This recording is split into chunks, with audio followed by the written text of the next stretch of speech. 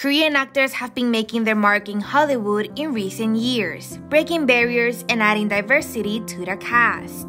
With Lee Jung-jae to appear in the upcoming Star Wars series and Park Seo-joon being cast for the Marvels film, fans are ready for their Hollywood debut. Emmy-winning actor Lee Jung-jae is set to take a new challenge as a Jedi Master in The Acolyte, an upcoming Star Wars series to be streamed on Disney+.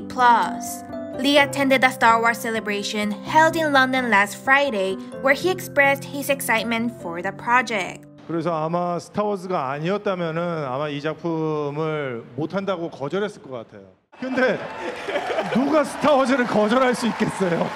더군다나 라이트 세이버를 쓸 수 있다고 하는데. He added that the Acolyte could be the most interesting of the Star Wars stories. The Acolyte will focus on the emergence of the dark side of the Force in the final days of the High Republic era. The series consists of 8 episodes and is scheduled to be released in 2024. Moving on, we have actor Park Seo-joon joining the MCU family. Yesterday, Marvel Studios dropped a teaser trailer for The Marvels, the upcoming sequel to Captain Marvel, which showed the first official glimpse of Park's character, Prince Yan. While his appearance in the trailer was brief, he showed his charisma and long hair, raising curiosity about his part in the movie.